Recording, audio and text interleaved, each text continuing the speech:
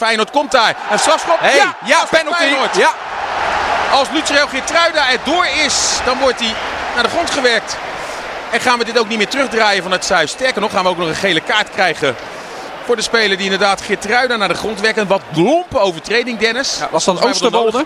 was Oosterwolde, zo'n jonge speler die dan eh, een overtreding begaat. Als je eigenlijk al weet dat eh, ja, de rechtsback van Feyenoord wat uit balans is. Misschien die bal niet eens meer goed kan voorslingeren. gaan we al de tweede penalty dit seizoen krijgen. En uiteraard is het aanvoerder Steven Berghuis die gaat nemen. Ja, in Zeist gaan ze er nog naar kijken. Maar dit is geen 100% fout van Van Boekel. Ik vind hem makkelijk gegeven, maar wat maakt het mij helemaal uit?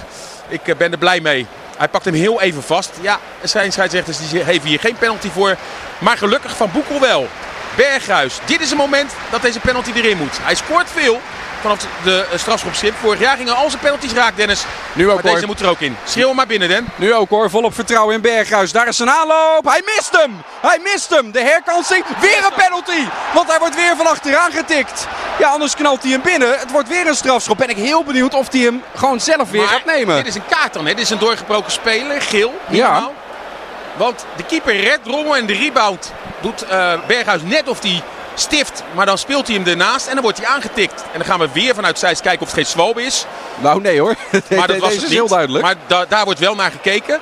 En dan gaat Berghuis opnieuw hem nemen. Ja, hij heeft eh, de bal alweer. Er zijn spelers die denken van nou laat het dan maar eventjes aan iemand anders over. Jurgensen heeft zoiets. Moet ik hem niet nemen? Nee, misschien moet je het juist door. Hij, Ja, hij, hij mist echt hij zelden tot nooit. Is hij er gelijk overheen. Anders gaat het weer zo'n themaatje worden. Zuivere pingel. En zelfs als je een auto-ongeluk eh, meemaakt, dan moet je gelijk Zo weer snel mogelijk de, gelijk weer in de auto stappen, want anders eh, wordt het een dingetje.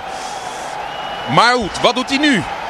Bij de derde penalty dit seizoen die Zo. Feyenoord ook krijgt. Schreeuw jij er maar binnen deze keer. Ik Ja, ben wel Jij bijgelovig. gaat dit jaar de penalties niet meer eh becommentariëren, Dennis. Dan doe ik het maar. Berghuis met de 1-1 in de 29e minuut. Daar komt de aanloop. Berghuis nu weer. Ja, ja, ja. 1 tegen 1 en nu erop en erover. Ja, en in de statistieken heeft hij dan een penalty gemist, maar maakt het uiteindelijk niet uit. Omdat in dezelfde minuut Berghuis alsnog scoort.